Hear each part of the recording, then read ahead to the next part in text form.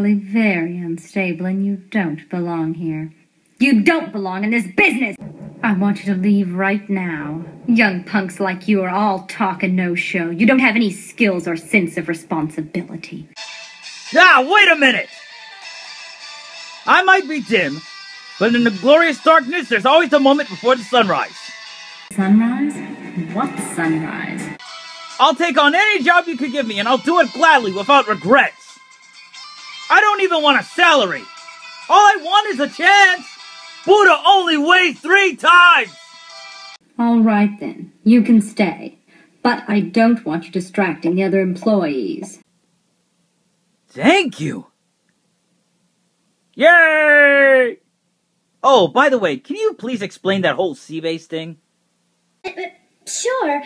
You see, C is a computer language which is closer to assembler and machine language than BASIC or Fortran.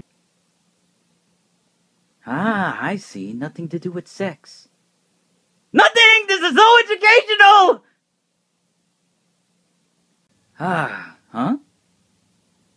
It appears that we have an energy crisis. Someone left their computer on. Eh, don't waste energy. Conservation is cool. What, what the? Huh. That's strange. This thing should have been off already. Huh? There's no off switch. Hmm. Huh? Well, I guess I better unplug it. There. Okay then. Wasting electricity is a waste of money. I hear the sound of a woman screaming. What's going on, ma'am? Unplug my file server! Yes! Oh, thank you so much for turning it off for me! Me! It was I! What the hell would you do that for? Why would you erase the program we've been working on for three months? It's supposed to be delivered tomorrow! What's wrong with you? Didn't you take any notes? I always write important stuff in my special notebook. You see? It's simple. Our server backs up everything automatically unless some idiot unplugs it! Ah! What, what, what did you do that for?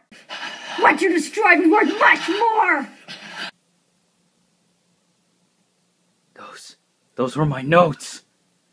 Those notes were more valuable than my life. Money can't replace that kind of knowledge. Those notes were priceless. Ah!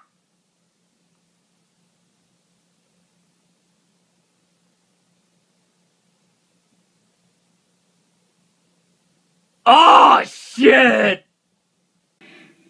Get out of my life.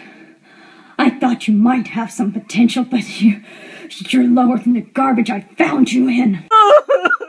Please forgive me. Please don't make me go. Please. I can't leave now. Not after I've caused everyone so much trouble. Those words mean nothing from someone like you. I'll do anything. If you want me to lick your shoes, I'll do it. If you want me to look something grosser, I'll do that too. I know you don't need the money. You've got the ten grand I gave you for that fake accident. But I've already spent it all, ma'am. You son of a.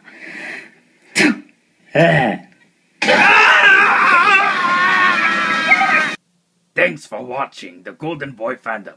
Now, here's something random.